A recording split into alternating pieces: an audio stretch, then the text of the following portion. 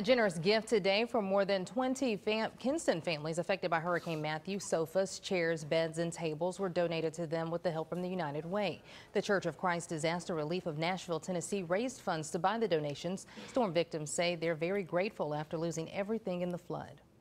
I thank God for the people who's helping us with this furniture today because we surely need it. And I appreciate that very much.